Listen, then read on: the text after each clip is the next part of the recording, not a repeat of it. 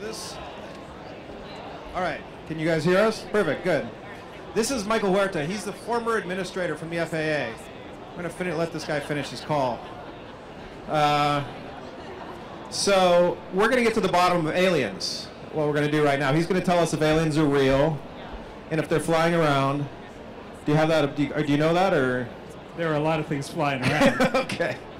What we're really going to talk about is um, flight in cities. And the first thing I want to start with, and this is something near and dear to my heart, I want to talk a little bit about quadcopters, licenses, uh, and what it's going to mean once we start using these things for more than just toys. Uh, if you want to talk a little about your experience with that. You know, drones are probably the next big revolution in aviation. You know, as we were uh, getting ready, uh, one of the things that John mentioned is we've been flying around in largely the same airplanes since the Wright brothers. Uh, there have been changes. Yes, we have the jet engine, which was really the last big revolution. But now, just you know, a couple of things that indicate how quickly this is growing. We have on the aircraft registry of the United States, that's kind of like the DMV for airplanes, 320,000 airplanes. And that includes commercial planes, general aviation uh, aircraft, everything. It took us 100 years to get there. We have had a registry for drones in the United States for about two and a half years, and we have over a million registered on that. Now, granted, a lot of those are the hobbyist drones that uh, kids might use to take pictures or what have you, but we have more drones registered to carry out commercial activities surveys or uh, inspections, what have you, then we have commercial aircraft registered in the United States. And so things are changing, and they're changing very, very fast. You know, there's a lot of talk about uh, drone taxis, about drone delivery services, and those are raising some really important questions for cities as to how do we deal with that, and what does that mean in terms of how we fit all of this stuff into what is a very crowded sky. So, what is the real? So, first off, why would I, as a as a hobbyist, need to register my drone? Should I do that to help you guys out, to help the FAA out? Should I do that for legality's sake? Is there any specific reason why I'm doing it? And this is for my own edification. The principal reason that uh, we ask you to register your drone is so that we can establish a relationship between the operator and the user. In the course of registering, you can do it online on the FAA's website, what there are rules of the road. There's kind of an educational purpose that it serves. You know, reminding you don't fly it within five miles of an airport, don't fly it off the end of runways, don't fly it uh, in certain areas that might represent security risks and then it also educates you educates you on the, the rules of the sky. You have a responsibility as a pilot to look out for other aircraft and to make sure that you don't create a safety situation. So the purpose is primarily educational. From the standpoint of our partners in national security and police departments, they also want to really have a sense of who is out there and to establish a relationship with them. This is all part of creating a legal framework for drones, because if you have a legal framework for drones, then it's much easier to determine when something is, is happening that is not legal. What, what does the world look like in 20 years in terms of aviation? Are we stuck in uh, the re- recombination of a Wright Brothers era airplane, or what's going to change over the next 20 years? Well, let's talk about a couple of things. Uh, there's been, you know, those of us of a certain age remember TV, a TV show called The Jetsons, and uh, there was uh, something that looked like these flying taxis that would carry a couple of people. I think the drone taxi is not that far off. I really think that uh, we're going to see examples of that in regular service probably within five years. Now, that raises a lot of really significant questions. You know, the first question is okay, well, where do they take off and land? You know, today, we all know where the airport is, or the airports here in New York. But you have to establish what are areas where you allow these uh, aircraft to pick up and drop off people. What are the routes that they fly in the sky? You know, the most efficient one is point to point, you know, a straight line. That's always the shortest distance between two points. But if you're flying at relatively low altitudes, there are all the things that come with low altitude flight. Noise and uh, disruption of uh, you know your activities. Let's say you're having a backyard barbecue. Do you really want things flying low over your backyard? A mayor that i talked to put it this way you know he, he made the point that uh, under current law anything that flies is exclusively regulated by the faa here in the united states but there is also an exclusive authority that a mayor has for zoning and the use of property. And there is a right that a property owner has for quiet enjoyment of the airspace over their property. So you can see there's a gray area where all of that stuff comes together.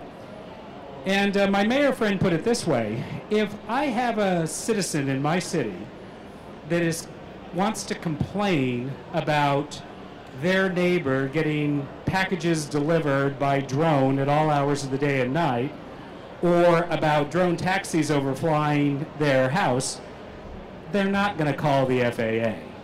They're going to call the mayor. And so the real question becomes that he was asking is what are my rights? as a mayor, and how do we establish what the rules are between what you and the federal level are going to regulate versus what I at the city level have the authority to have some control over. And so this is only one of the many policy questions that we need to sort out. What else is there? What else do we have to sort out? Because it sounds like this um, it's almost a non-starter to a degree, the way that the way you just described it.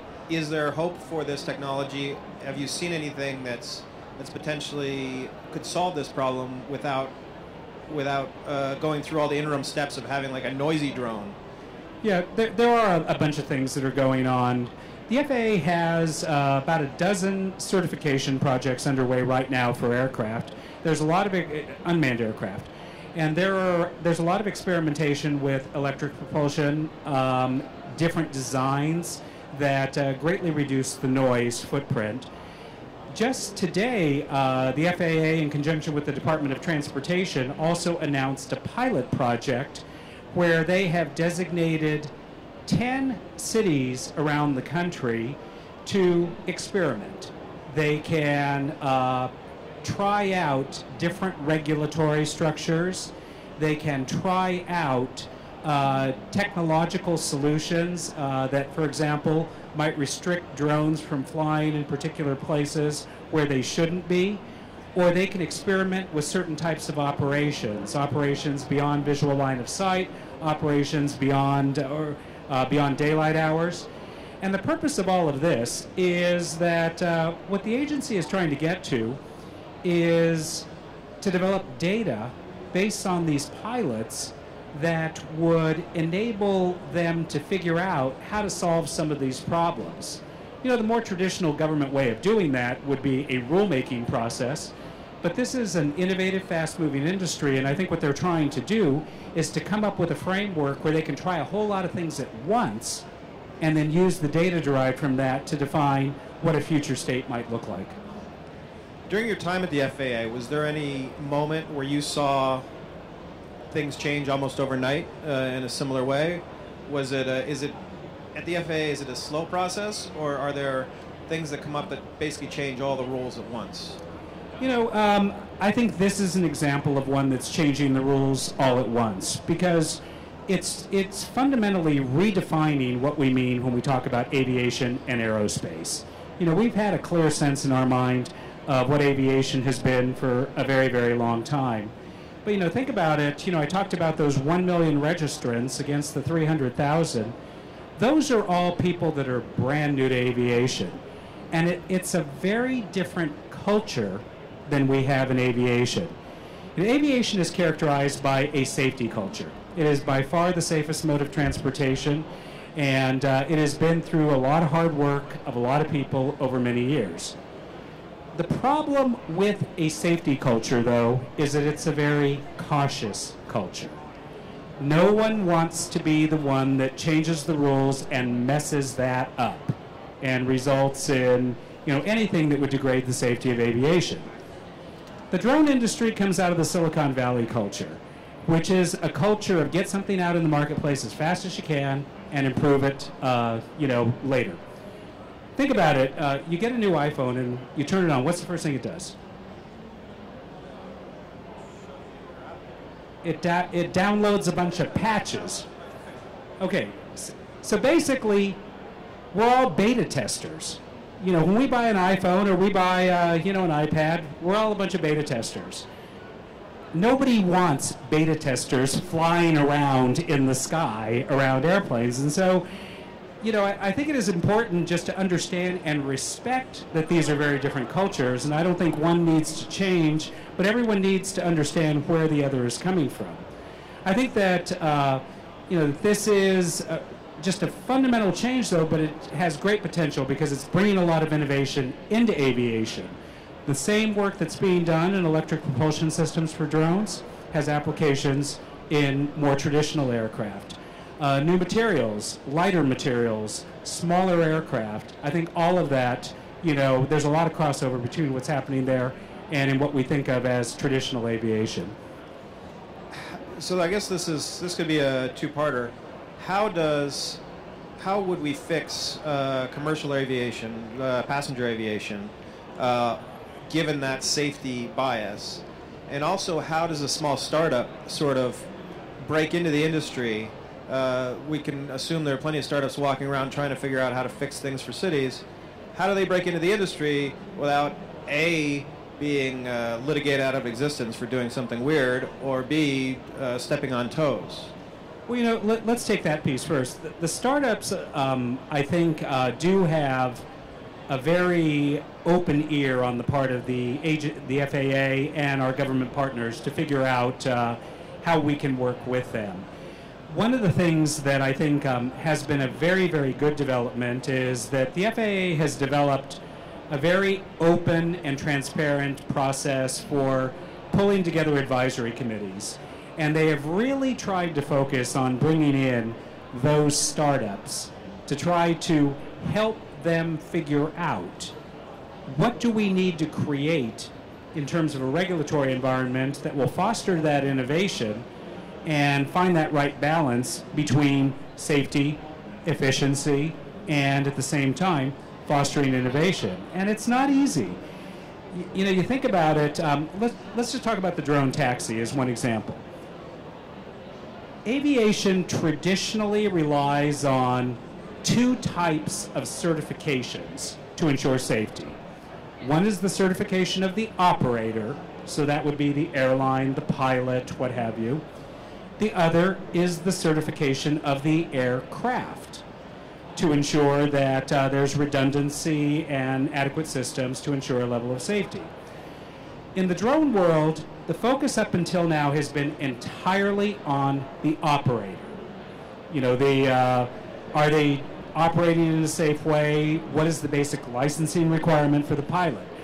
But now everyone's having to struggle with the question of the certification of the aircraft. Uh, there's been a conference going on in LA this week uh, hosted by Uber, Uber Elevate, which is really starting to struggle with this question. And the question they're asking is if we are going to certify the aircraft, to what standard? Think about it. You know, your average, you know, your aircraft standard is for certification is very, very high we have had since 2009 in commercial aviation one fatality. Conversely, on our nation's highways, about 40,000 people die annually in crashes uh, on our nation's highways. Now, if the drone taxi is going to take people off of the highways, do you establish a different standard for certifying those special purpose aircraft. And those are the kinds of things that we have to grapple with, but we have to do it collaboratively between government and industry to figure that out. And what should cities be doing right now to prepare for this? Is there anything they can be doing, or should they start talking to you? Well, I, I actually think they should talk to each other. There is a lot of really interesting work that is going on in cities all around um, the U.S. as they try to grapple with these questions. Uh, the Conference of Mayors has been active in working with the agency on framing out what um, new drone regulations should look like. There have been a couple of mayors that have been active participants, and they talk very, uh, you know, very openly with mayors all around the country and around the world. The other thing they need to be doing is bringing forward what are their concerns.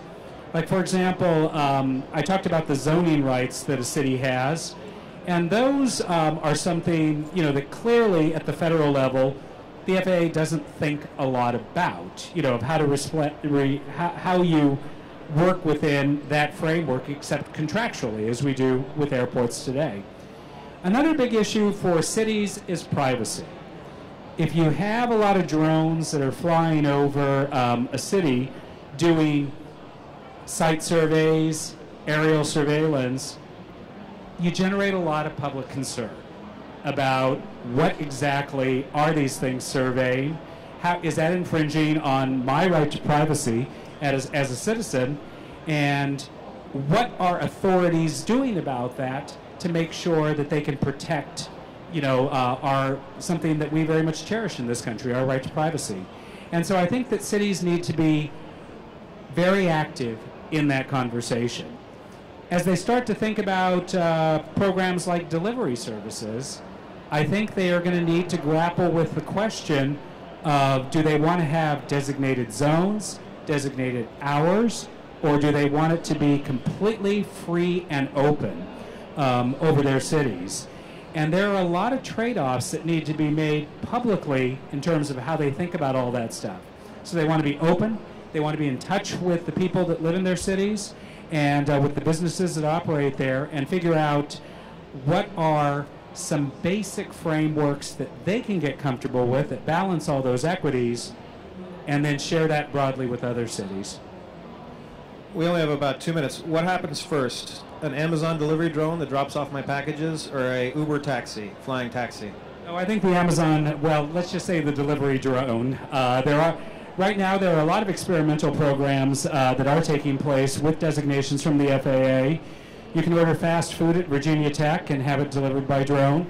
Uh, there, um, as part of the pilot programs uh, that were announced today, uh, many of the cities are going to be experimenting with different types of deliveries, some for life-saving equipment and others for supplies. And so uh, you're going to be seeing that very, very soon.